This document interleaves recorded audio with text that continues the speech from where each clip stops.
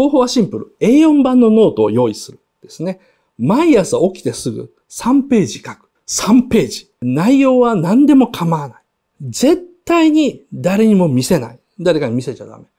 この4つがですね、ルールなんですよ。スマホにメモするんではダメで、紙の本物のノートに鉛筆でもいいし、ボールペンでもシャーペンでもいいし、まあ万年筆でもいいんですけども、とにかく紙に書けと。なんで紙に書くのかっていうと、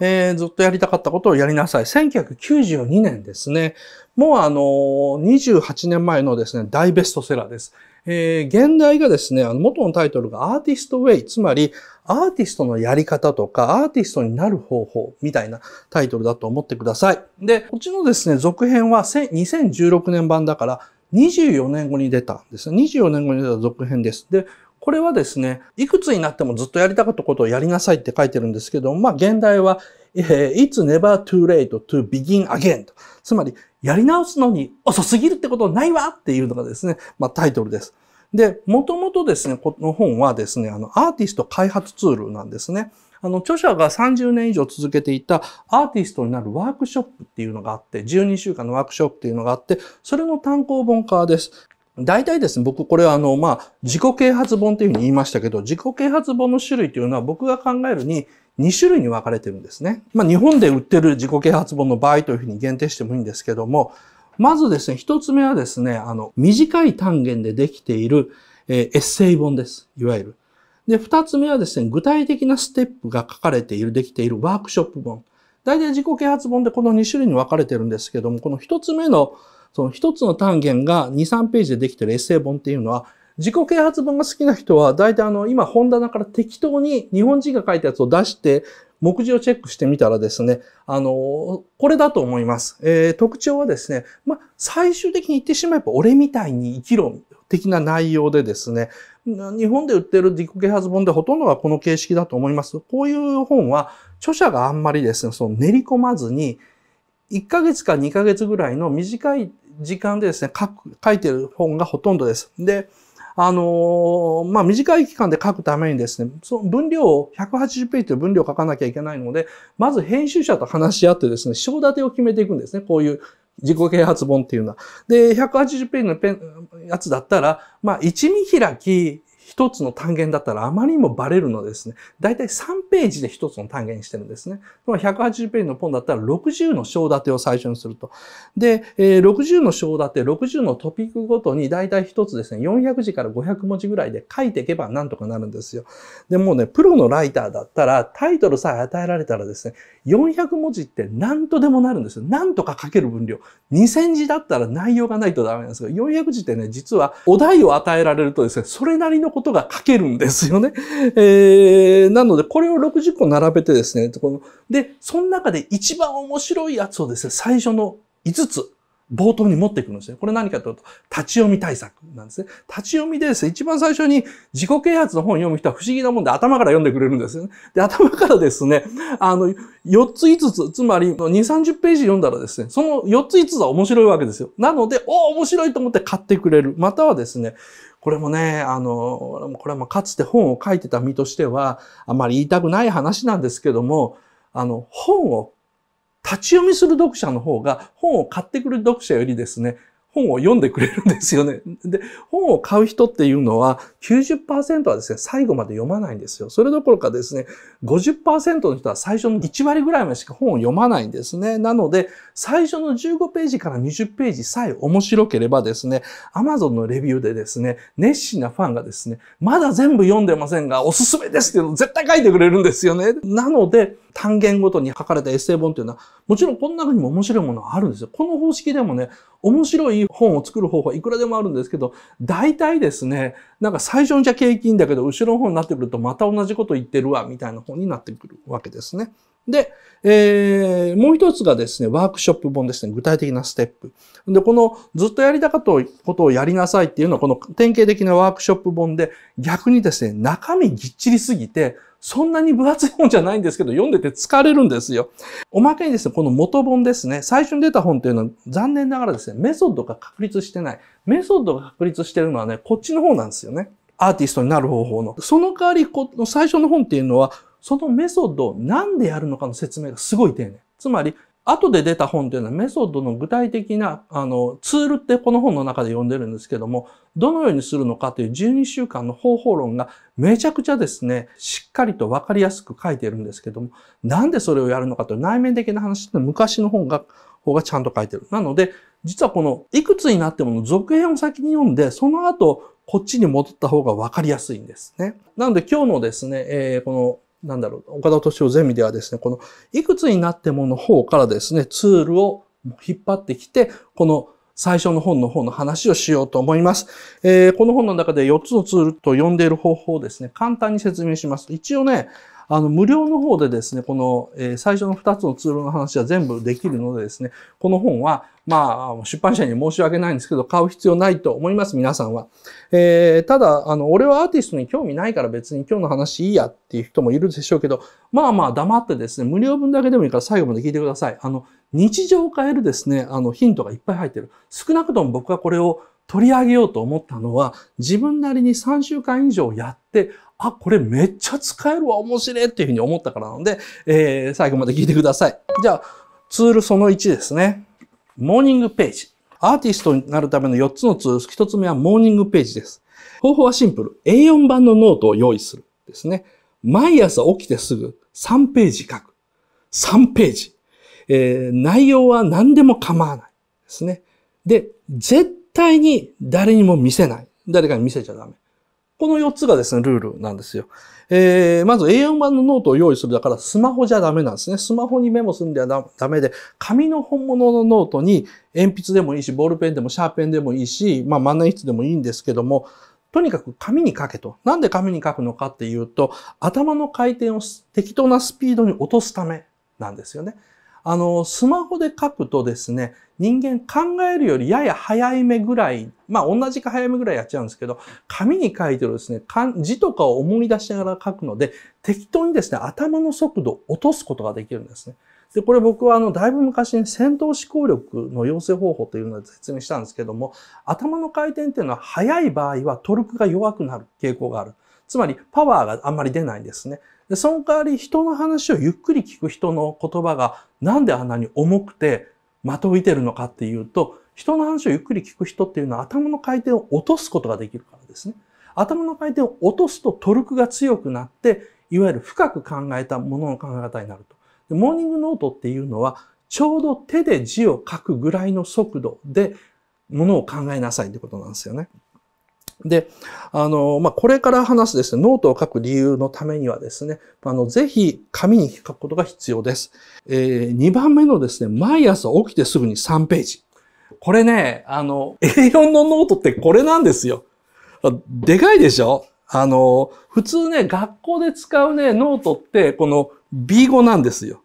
で、えー、今ね、みんな普通に使ってるノートって、このモレスキンの B5 よりさらにちっちゃい、いわゆる A6 だと思うんですけども、まあ、女の人なんかこれよりもっと小さいノートを作ってるね。だから、このね、A4 のノートってね、果てしなくでかい。なんかね、僕がね、書いた経験で言うと、もう本当にでっかい海を文字で埋めようとしてるかのごとく、めちゃくちゃしんどいんですけどもですね。まあ、広げて書いてみると、あんまりのバカでかさにびっくりしますよ。特に見開きだったら、机がそれでいっぱいになるぐらいですから。で、腕が、こう、文字書くじゃないですか。あの、A4 のノートって一番上に書くときに腕を伸ばさなきゃいけないんですよ。ね。こんな、こんな小学校とか中学校の習字の時間以外ですよ。こんなに伸ばして字書くの。これをですね、毎朝書くんですね。で、毎朝書くんだから、カフェではやめた方がいい。なんでかというと、毎朝ね、続かなくなるんですよ。毎朝やることが大事だから。まだね、あの、誰も起きてない時間に起きて、絶対に毎日使える場所で書くのがおすすめだから、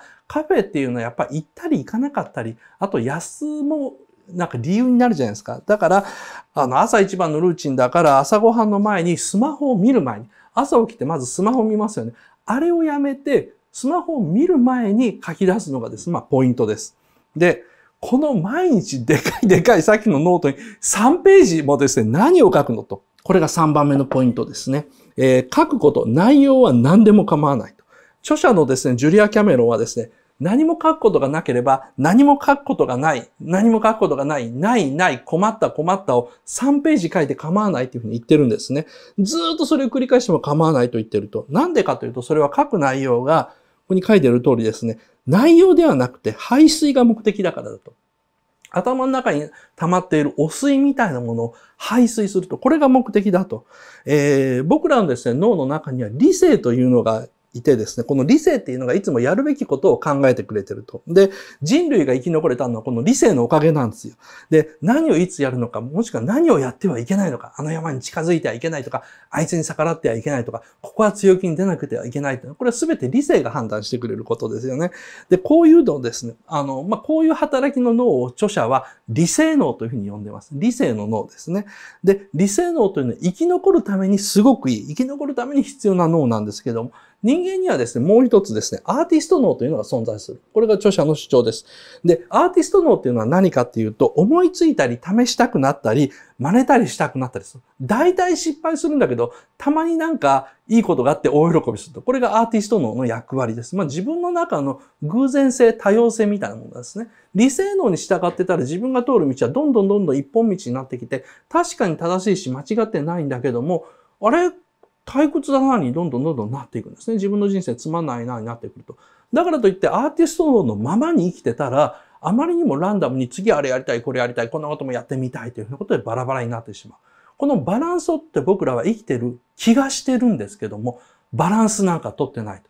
理性能の言ってることがね、それはもう絶対合理的で損がなくて正しいわけですね。だから僕らはいつの間にかアーティスト脳のことをほったらかしで、理性能の言うことばっかりを聞いている。わけですね。えー、まあ直感的にですね、生きることにたは役に立たないんだけども、自分の多様性っていうのを作っている、まあ幸せの方向性とか可能性を探るために必要な脳です。ところがですね、15歳を過ぎる頃から、まあ、人によってはもっと早く、子役さんなんか、子役の俳優さんなんかそうですよね。理性能の方がですね、強くなるんですよ。つまり、そんなことやっても無駄だとかですね、あんな人を好きになっても仕方がないとかですね、なんかこう、まあな、声優に恋してもしょうがないみたいなことをですね、諦めたり自分をセーブする方が多くなっていくんですね。僕みたいな、そのサイコパス的な人間は特にそうです。自分の中の衝動っていうのが強いもんだから余計理性で、それはちょっと諦めようよとか、それはこの方法で別の方法を考えようよというふうに常に言ってくるんで、理性の強めなんですね。実はこういう僕みたいに社会不適合者の方が理性が強めっていうのはですね、あのそうですね、カフェなんかで会う変なおじさん、なんかブツブツ変なこと言ってる、独り言言ってるしてるしてる人は、本人にしては理屈が通ってるというので、まあわかると思うんですけどもですね、人生のためにはこの理性脳が強い方が有利なんでしょうけども、幸せになるためにはですね、理性脳が大きすぎると、人生がつまんなくなっちゃうわけですね。で、モーニングページのですね、目的、この排水っていうのは何かっていうと、この理性脳を黙らせるためっていうかね、疲れさせるためなんですよ。毎朝起きてですね、あの、1番に3ページ A4 のノートを皆さん明日の朝書いてみてください。あの、頭の中で思い浮かんでることを何でも3ページ書くっていうのは、その思い浮かんでいることっていうのはつまり言葉っていうことなんですよ。言葉っていうのは何かと、まあテキストですよね。それこそが理性なんですね。西洋哲学でいうと、この理性っていうのは言葉ですからですね。あの、なので、頭の中にある理性的な部分を全部吐き出すことになるんですね。ノートの中に。そうするとですね、不思議なもんでですね、発狂しちゃうというふうに今書いてコメントあったんですけど、逆なんですよ。あの、理性の疲れ果てるんですね。朝一でヘトヘトになるんですが、思いついたこと3ページ3ページ全部文字化されるとですね、その文字を自分も見るわけじゃないですか。書いてる文字を自分も見ることでですね、理性のはですね、ああって疲れ果ててしまって、その日一日面白いことにですね、あまり働かなくなるんですよね。ここが面白い。えー、これがですね、モーニングページの目的です。何でもいいから3ページ頭に浮かんだことを書く。四つ目のポイントですね。えー、誰にも見せない。ですね。あの、何でも話せる友達とかですね、自分が一番信頼してる人に、今私、岡田斗司夫の番組で これ見ててやってるんですよってね、まあね、ノート書いてみてください。あの、二日目か三日目ぐらいで誰かに見せたくてたまんなくなりますからす。なかなかいいことを書いてるとか、自分はこんなこと考えてたんだって意外なことの塊だから、人に見せたくなるんですよ。面白いことに。でも、見せたらダメ。その瞬間にモーニングページっていうのは、自分との対話ツールでなくなっちゃうんですね。いわゆる親友だと思ってた人が、その人とだけした話を他の人にペラペラしたら僕らが信頼を失っちゃうのと同じようにですね、モーニングページとの関係が信頼性がなくなっちゃうんですね。誰かに見せた瞬間に。あの、よくあの SNS でですね、鍵付きアカウントとかで好きなことを吐き出して、それがトラブルで、あの、後で炎上する人とかがいるじゃないですか。で、そういう人がですね、あの、じゃあどこで言えばいいんだと、誰にも言えないことをどこに吐き出せばいいんだっていうふうに言う人いるんですけど、モーニングページに吐き出しゃいいんですよ。誰にも見せちゃいけないものというか、誰にもですね、見られるつもりのないものをですね、誰かにこっそり見せちゃう。鍵付きのアカウントといってもその鍵を教えてしまったりするから炎上するわけでですね。モーニングページだったら誰も見せないのでですね、毎朝3ページ吐き出したら全然ね、あの、なんだろう、行きやすくなりますよ。これも保証します。えー、2つ目ですね。4つのツールの2つ目。アーティストデートですね。えー、アーティストになるための4つのツール2つ目ですね。これは週に1回探検とか遠足に行くですね。で、これも必ず1人で行く。で、えー、予定を立てて、まあ、できれば10週間分、週に1回だから、10週間分10個予定を立てて、その予定をできるだけ動かさない。じゃあ、どんな予定を立てるのかっていうと、子供の頃から、こんなの自分になりたかった、こんな仕事したかったと、なりたかった自分っていうのを、まあ10個ぐらい考えて、それで行くところを決めるっていうのもあり考え方です。えー、毎週これを1回ですね、最低でも1時間、まあ長ければ2時間程度ですね。別にあの、時間に余裕ある人は1日でもいいし、1泊旅行してもいいんですけども、最低でも1時間、これまでやってなかったこととか、ずっと昔は言ってたんだけども、子供の頃は言ってたんだけど、もうもう行かなくなった店とか場所、あと子供の頃にしたかったこと、したかった仕事ですね。絶対に自分とは縁のないはずの場所。また、まあ今まで行ったことのないジャンルのショップでもいいです。あの、本屋の興味のない本棚でもいいですし、図書館とかスポーツジム、それぞれ図書館に縁がない人は図書館、スポーツジムに縁がない人はスポーツジム。そこにですね、冒険に行くんですよ。これあの、冒険とか探検に行くのが目的だからですね、そこで成果出さなくてもいいんですね。図書館に行ったから本を借りなくてもいいし、スポーツジムに行ったからといってですね、スポーツが好きにならなくても全然構わないんですね。えー、冒険ですから。で、ポイントは、この二つ目の絶対に一人で行くこと。ついついね、あの、育児してるとね、まあ、じゃあ、ついでにと思って子供連れてっちゃったり、あと、まあ、友達と一緒に行ったりですね、まあ、彼氏彼女がいる人は一緒に行ったりするんですけど、それダメと。なんでかっていうと、理由は、ダメな理由はですね、連れて行った人が楽しそうかどうかが気になっちゃうからなんですね。で、または一緒に行って二人で盛り上がったその楽しみ方とか、あと相手の退屈そうな態度に引っ張られるからなんですよ。で、この、あの、アーティストデートの目的は自分の中の恥ずかしがり屋で、もう引っ込み思案にいつの間にかなっちゃったアーティスト、アーティスト脳の部分ですね。さっき話した理性脳とアーティスト脳で、いつの間にか僕らはそのアーティスト脳を引っ込み思案で恥ずかしがりにしちゃってるんですけど、こいつをですね、引っ張り出して楽しませることなんです。自分が楽しむんじゃないんですよ。自分の中にあるアーティストな子供の部分を楽しませるってですね、難しいことするんで、これ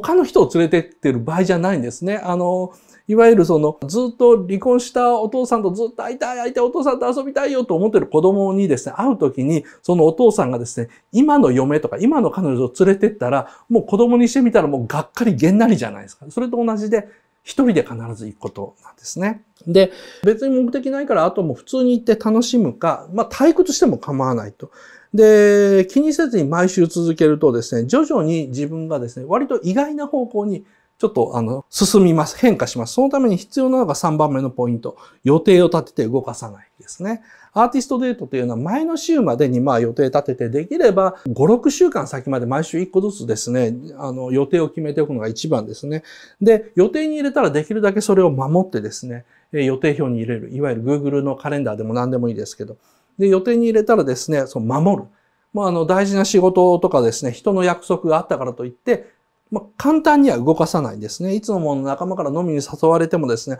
アーティストデートが計画に入ってたらですね、そっちを優先すると。あの、これはね、自分の人生で一番大事なのは自分っていうこう癖をつけるのはすごくいいです。あの、自分自身を大事にしてこそ他の人を大事にできるという、このね、鉄則みたいなものがあるので、えー、自分自身をですね、まるで一番大事な自分というのを俯瞰で見て、自分自身というのは、あ、こいつのことが一番大事だというふうに思って、その上で他の人を大事にするというのを癖つけると、割とね、あの、気持ちが強くなれるし、優しくなれるからやった方がいいですよね。で、四つ目のポイントですね。あの、昔こうなりたかったのになとか、いつ、いつの間にか諦めたなっていうのを探すと。まあ、パイロットになりたかったんだったらですね、飛行機の掃除を教えてくれてる教室あるんでですね、そこにですね、あの、見学に行くとかですね、まあ、陶芸師になりたいと思ってたらもう体験教室に行くでもいいですし、野球選手になりたかった自分がいるんだったらバッティングセンターに行ってみた方がいい。ジャニーズに入りたいと思ってたんだったら、そういうことが、本当にね、昔、そういえば俺ジャニーズに入りたいと思ったことあったわとか、アイドルになりたいと思ったことあったわと思ったらですね、ダンスレッスン一回受けてみる。ま、体験入隊とか、入学とかだったらですね、だいたい2000円とか1000円ぐらいできるんでですね、ま、これも探検が目的で、だから成果、踊れなくても全然構わないんですね。黙ってですね、その、やっちゃいけないのは、こう、動かずにですね、あの、アマゾンでですね、憧れていたもののアイテムをポチッとしてですね、買う。これはやっちゃいけないですね。探検ですから。一番上に書いてる通り、遠足ですからですね。遠足だからですね。あの、できるだけその場に行ってください。で、ずっとやりたかったことをやりなさいですね。この本はですね。まあ、あの、この本では書いてるのはこの2つのツールです。で、さらにこの12週間ですね、それぞれをこうやってみようという、この2つのツールを徹底的に突き詰めたものがこの本の中に書いてます。えー、僕の説明よりはですね、ずっと細かく実例たっぷりですね、もうアメリカのこういう本にありがちのですね、ビルはこの時こういうふうにしたとか、ケイトは私の話を聞いて信じなかった。しかしやってみて自分の中のこんな変化に気がついたというですね、もうどこの誰だか知らないようなビルやケイトやですね、フレンドやジョニーやですね、あの、アランとかですね、ジェシーの話が山のように入ってますけども、えー、気になった人は読んでみてください。ただし、あの、二つのツールを、まあ、ここまででね、割とね、ちゃんと説明できてます。僕、あの、時間取って説明したのでですね、明日の朝からすぐに、モーニングページを始めてもですね、全然問題ないし、来週以降ですね、アーティストデートを今夜予定立ってもですね、あの、全然問題ないです。えー、僕自身の経験では、モーニングページの効果っていうのは初日から徐々に現れるし、あとアーティストデートっていうのは、僕実は僕はあの、この本と関係なく、何年か前から時々やってたんでですね、こっちも確実に自分を変えてくれますですね。だからあの僕は海外にいわゆる聖地巡りというか、この話が面白いと思ったら、この映画が面白いと思ったらそこに行くっていうのはこれやってたんですけどもですね。えー、とりあえずですね、明日の朝はですね、手持ちのノートで構いませんので、まああの3ページ書いてみてください。で、明日のお昼にですね、文房具店でですね、A4 のノートを買って、もうどんなにバカでかいかびっくりしてですね、やってみよう。えー、書いたらわかるけど、本当に A4 のノートってすごいでかい。えー、では、本日の無料はここまでにしたいと思います。お疲れ様でした。マリオのゲームオーバーみたいなもんで、ああ、終わっちゃったっていう感じに近いと思うんですよね。